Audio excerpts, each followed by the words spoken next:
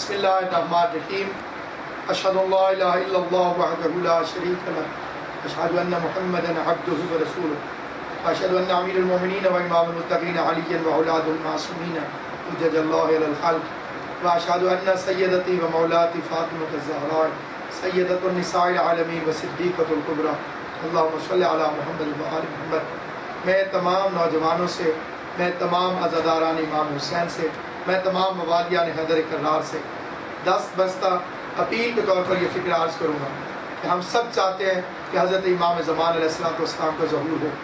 رسول خدا چاہتے ہیں کہ حضرت امام زمان علیہ السلام کا ظہور ہو۔ خود خدا بند کریم چاہتا ہے کہ امام زمان علیہ السلام کا ظہور ہو۔ کیونکہ اگر حضرت امام زمان علیہ السلام السلام کا ظہور نہ ہو تو مشن پروردگار نامکمل، ناکام اور ادھورا ہو جائے۔ حضرت کا ظہور اللہ کے مشن کی تکمیل کے لیے ناگزیر ہے۔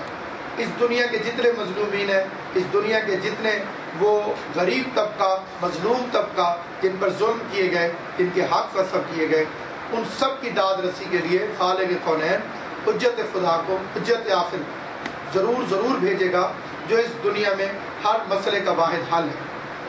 اور یہ میرے امام حضرت جعفر الصادق علیہ السلام کی حدیث طیب و طاہر بھی ہے۔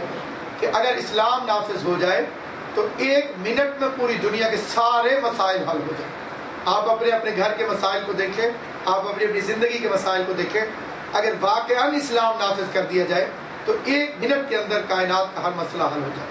اس اسلام کو نافذ کرنے کے لیے حضرت امام زمان علیہ السلام السلام کا ظہور ناگزیر ہے۔ ہم سب دعا کو بھی ہیں، لیکن ایک چیز پر غور کر لیں کہ کیا آپ کی زبان سے نکلے ہوئے الفاظ آپ کے عمل کے مطابق ہیں عمل سے مراد اگر آپ امام زمان کے ظہور کے مشتاق ہیں، تو آپ ازاداری سے کتنے مخلص ہیں؟ کیونکہ مولا تو ازاداری سے جو غیر مخلص لوگ ہوں گے، انہیں قبول اور برداشت نہیں کریں گے۔ آپ اگر امام زمان کے ظہور کے لیے دعا گو ہیں، تو آپ عبادات کی طرف کتنے متوجہ ہیں؟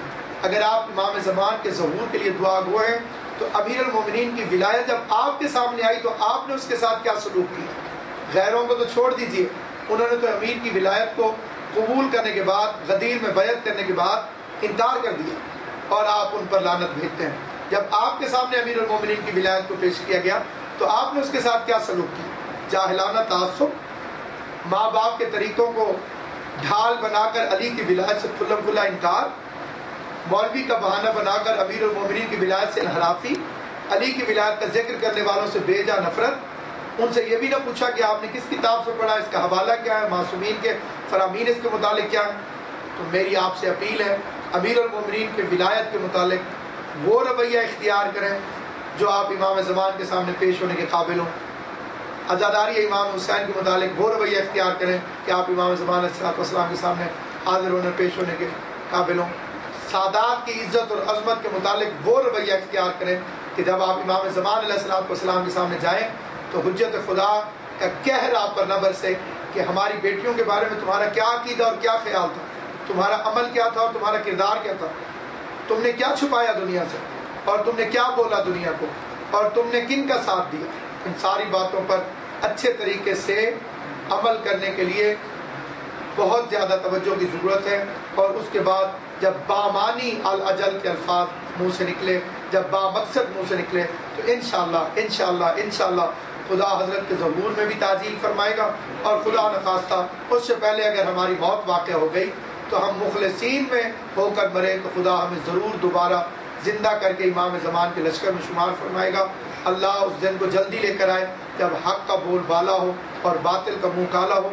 ہمیں کوئی پرواہ نہیں، کائنات میں جتنے بھی طوفان اٹھے حق ہمیشہ قائم رہنے کے لیے ہے اور باطل کو مٹنا ہے، باطل کو ذلیل ہونا ہے، باطل کو سرنگو ہونا ہے اور کبھی بھی ظلم، کبھی بھی جہالت، کبھی بھی انسان کے ایسے رویے جو آل محمد کے خلاف ہوں، وہ نہ اسے دنیا میں عزت دے سکتے ہیں، نہ آخرت میں، یقیناً آل محمد کے دشمنوں کے مقدر میں روز ازل سے مفتی تقدیر نے یہ فتویٰ لکھ دیا ہے کہ انہیں دنیا میں بھی ذلیل ہونا ہے اور آخرت میں بھی ذلیل ہونا ہے۔ اللہ عجل ولی فرد اللہ صلی علی محمد اداری نیٹ ورک ڈاٹ کام اور اداری ڈاٹ کام کے جو ویوز ہیں لاکھوں ویوز ہیں ان کے لیے آپ کو پیغام دیں جو آپ کو دیکھ رہے ہیں۔ آئمہ معصومین علیہ السلام والسلام نے میڈیا کی اس ترقی کے متعلق سیٹلائٹ کے اس دور کے متعلق اپنے خطبات میں بہت پہلے واضح اشارے ارشاد فرمائے۔ حضرت امام صادق علیہ السلاۃ والسلام کے زمانے میں، حضرت امام صادق کی مشہور زمانہ خطبے کا فکرہ ہے کہ میں دیکھ رہا ہوں کہ الناس یستمعون القول بلغتہم۔ مشرق میں بیٹھا ہوا شخص مغرب والے کو دیکھ بھی رہا ہے اور اپنی لغت میں اس کی باتیں سن رہا ہے۔ اس دور کا جو معجزہ ہے اس وقت اس وقت دنیا میں آپ کسی بھی دور کے اندر دیکھ لیں، اس دور کو چھوڑ دیجیے۔ ہر زمانے کی ترقی صرف اور صرف دو شعبوں کے اندر ہوتی ہے، ایک کا نام ہے سپیڈ دوسری کا نام ہے کمیونیکیشن انسان نے ہمیشہ سے انہی دو چیزوں میں ترقی کی ہے، یا سپیڈ میں ترقی کی ہے، یا کمیونیکیشن میں ترقی کی ہے۔ انسان جب سپیڈ کی ترقی میں آیا تو ذرائع، مواصلات کے ساتھ ساتھ اس کو باقی چیزوں نے بہت زیادہ سپورٹ کیا۔ سفر جو ہے، مہینوں میں ہوتے تھے، وہ آپ گھنٹوں میں ہو جاتے ہیں، جو گھنٹوں میں ہو جاتے تھے، وہ منٹوں میں ہو جاتے ہیں۔ منٹوں والے سیکنڈوں کی طرف چلے گئے اور میڈیا نے انسان کو ایک گلوبل ویلیج کے اندر بٹھا بلکہ بعض حضرات تو کہتے ہیں کہ یہ گلوبل ویلیج نہیں ہے گلوبل ہٹ ہے۔ ایک ہٹ کے اندر ہم بیٹھے ہوئے ہیں اور ایک دوسرے سے واقف ہیں۔ اب جھوٹ آگے نہیں چل سکے گا میڈیا کی ترقی کی وجہ سے۔ کسی بھی زمانے کے اندر جس کے ہاتھ میں میڈیا ہے، اس نے اپنے پیغام کو صاف صاف پہنچایا ہے دنیا تک۔ اس زمانے کے اندر جو جہاد آپ ازاداری نیٹ ورک کے ذریعے کر رہے ہیں جو نوجوان اپنے قیمتی وقت میں اپنی توانائیوں کو، اپنے علم کو، اپنی صلاحیتوں کو امام زمان علیہ السلام کے لشکر میں شمار ہوتے ہوئے مشن اہل بیت کے لیے خرچ کر رہے ہیں۔ جتنی تعریف کی جائے اتنی کم ہے۔ میرے نزدیک اس وقت وہ نوجوان سلوٹ کے قابل ہے، سلام کے قابل ہے، دعا کے قابل ہے۔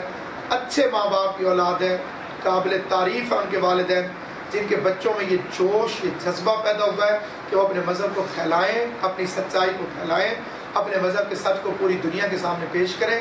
اللہ آپ کے ہاتھوں کو مضبوط کرے، آپ کی نیتوں میں اور زیادہ جلا پیدا کرے، آپ کے سورسز میں اضافہ کرے، آپ کے بازوؤں میں مزید طاقت عطا کرے اور آپ کو اس سے زیادہ صلاحیتیں دے کہ آپ اس دور کی اصلی روح کو سمجھ گئے ہیں کہ آج دشمن جو ہم پر یلغار کرتا ہے وہ میڈیا کے ذریعے کرتا ہے اور دفاع کے لیے اگر آپ کے پاس میڈیا موجود ہو، وہ اپنے جھوٹ کو پھیلانے کے لیے میڈیا کا سہارا لیتے ہیں۔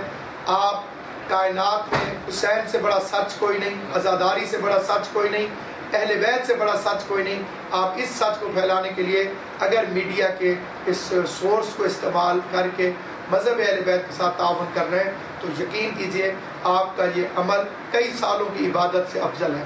کئی سالوں کی مستحب عبادت سے افضل ہے۔ آپ کو خدا اس میں مزید زیادہ ترقی، قوت، طاقت عطا فرمائے اور ہر اس بندے کو آجر دے جو آپ کے ساتھ تعاون ہزاری نیٹ ورک ڈاٹ کام اور تلگم ہزاری ڈاٹ کام کی طرف سے ہم اعلیٰ صاحب کے قبلہ صاحب کے بےحد ممنون ہیں کہ انہوں نے اپنے قیمتی وقت میں سے ہمارے لیے وقت نکالا اور انشاءاللہ ان قریب اعلیٰ صاحب کا ایک مکمل انٹرویو ہم نشر کریں گے۔ اداداری نیٹ ورک اور ترگنگ اداداری ڈاٹ کام کی پوری ٹیم آغا صاحب کے لیے علامہ صاحب کے لیے دعا گو ہے کہ وہ اپنے مقاصد میں کامیاب ہوں اور اللہ تعالیٰ ان کی توفیقات خیر میں اضافہ فرمائے۔ بہت شکریہ۔